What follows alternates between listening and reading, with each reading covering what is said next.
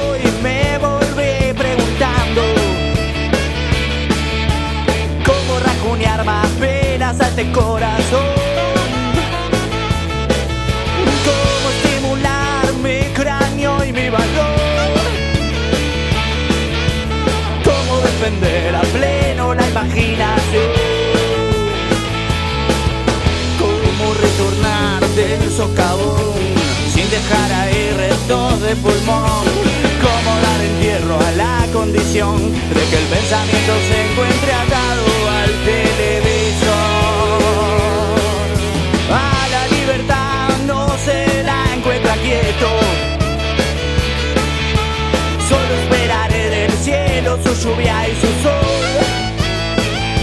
Oh, viaja el rock and roll como loco por los barrios, iluminando al sin y al trabajador.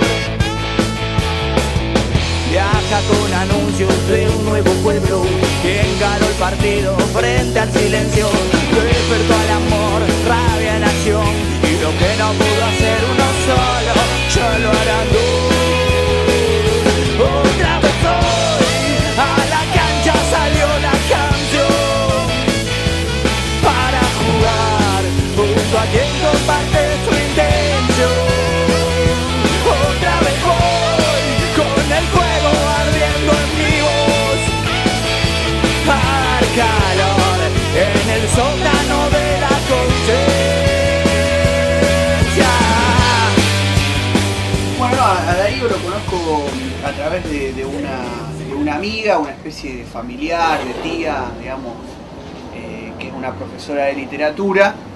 Era la, es la tía directa de una amiga mía de, la adolescencia y bueno, por, una circunstancia, digamos, de la edad, de preparar una materia, me contacto con ella y, digamos, a partir de, algunas charlas, algunos libros que me empieza a prestar, ella había militado en los 80, me, comenta que tiene, que tiene un alumno en un colegio secundario en Solano donde da clases, que está con bastantes inquietudes, en un momento en donde tampoco es que prima eh, las inquietudes políticas, digamos, en, los jóvenes, sino que son pequeños grupos o gente que hace cosas en algunos lugares puntuales.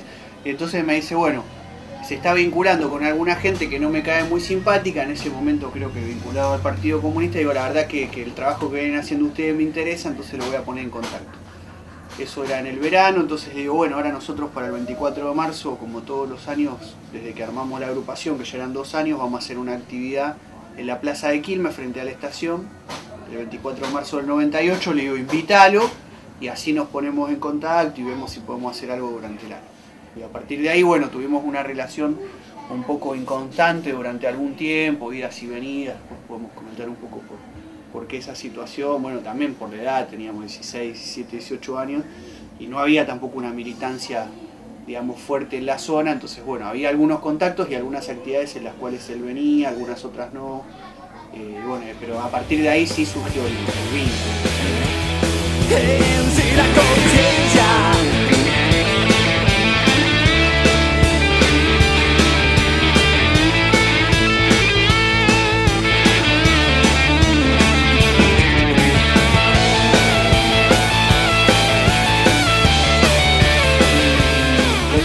Con nosotros que estábamos acá en Villa Corina, en el MTD, uno de los primeros movimientos desocupados acá en zona sur. Y la vinculación del MTD con la agrupación juvenil pasaba también por la participación de algunos de nosotros como militantes en una organización que se llamó Movimiento La Patria Vencerá. Que un poco lo que nos interesaba en común, creo que tanto a Darío y los pibes como a nosotros que éramos más los hermanos mayores, ¿no? Tenemos 8, 9 años de diferencia. Eh, era esa combinación de una militancia más política con un trabajo social, barrial, de desarrollo, ¿no? El MTD daba una perspectiva de organización barrial, pero también teníamos un ámbito de discusión política. Darío buscaba mucho eso y, y era una constante en nuestros debates. Y a partir de ahí quedamos como un grupo militante, Darío, Mariano, Flor, el caso mío y el negro Luis, otro compañero, buscando reorientar nuestra militancia. Bueno, esos fueron los momentos con Darío de más fraternidad, de más confianza, de conocernos más, porque además de tener alguna actividad militante y social juntos, se nos definió un grupo de contención también, más allá de las diferencias de edad, ¿no? de búsqueda común, y en ese momento una búsqueda militante también involucraba muchas veces nuestras decisiones de vida, ¿no? Bueno, sabrás mejor vos, Mariano,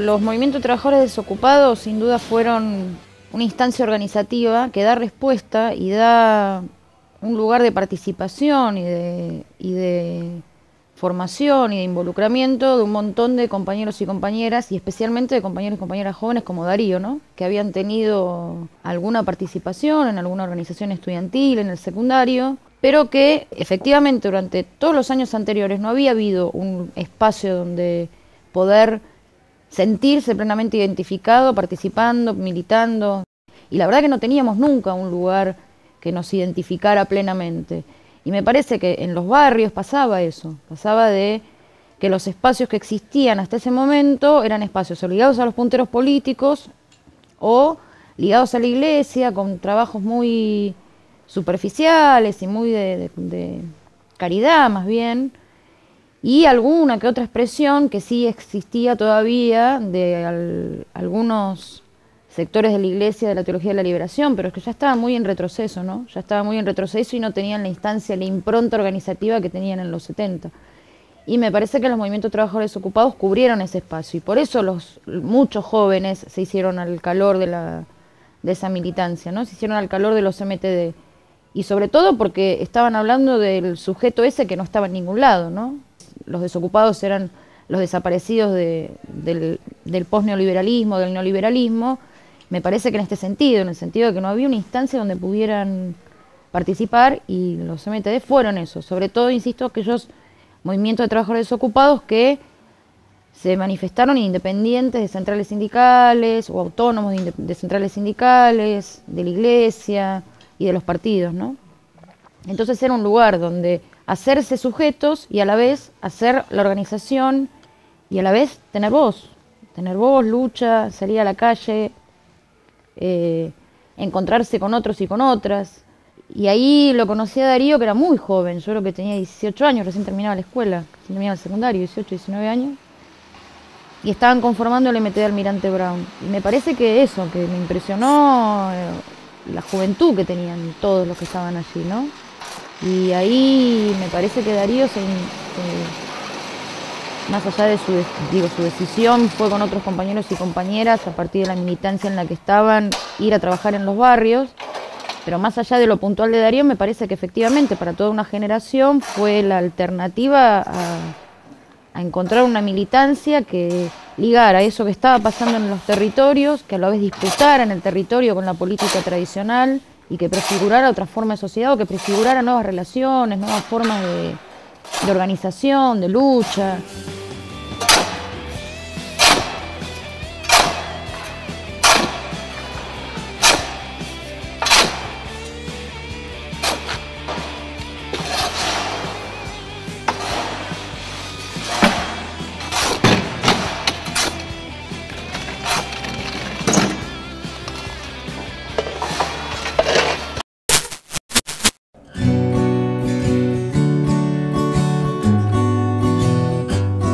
...35 años en defensa de la escuela pública...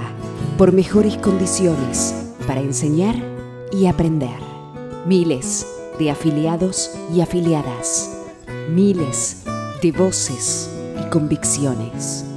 ...por más derechos, por más democracia...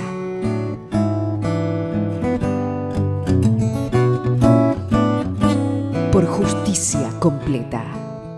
35 años haciendo historia en las aulas y en las calles. ATEN, el Sindicato de Trabajadoras y Trabajadores de la Educación de Neuquén.